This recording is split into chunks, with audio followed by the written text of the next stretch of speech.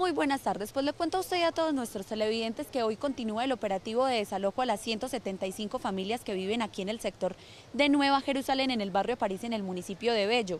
Las autoridades señalaron que hasta el momento se han logrado evacuar 30 personas de 7 viviendas que han salido voluntariamente.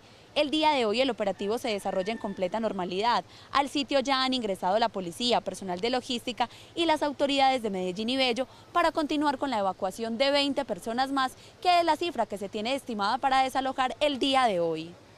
Hoy tenemos más de 20 familias que han reclamado el subsidio en eh, la tesorería del municipio, de manera que asumimos, esperamos que con la ayuda de Dios, si todo transcurre normalmente, hoy puedan trasladarse por lo menos esas 15 o, ojalá unas 20 familias pues que, que puedan eh, hoy ser notificadas y, y efectivamente trasladadas a sus enseres.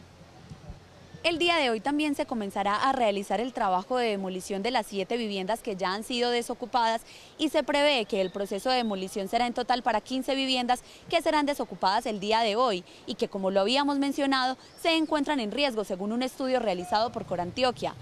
En total se van a desalojar 605 personas que fueron censadas y que habitan en este sector de Nueva Jerusalén, que están en espera por ser desalojadas durante los próximos 15 días que se estará realizando este operativo.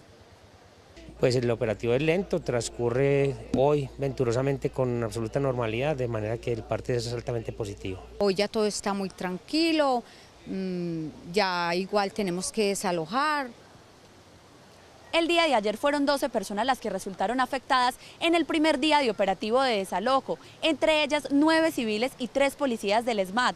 Las autoridades confirmaron que estas personas ya fueron dadas de alta sin mayores complicaciones. Nosotros estaremos muy pendientes de cómo avanza este operativo para llevarles toda la información. Mientras tanto, continúen ustedes con más en estudio y recuerden que en Noticias Telemedellín aquí te ves. Que tengan una feliz tarde.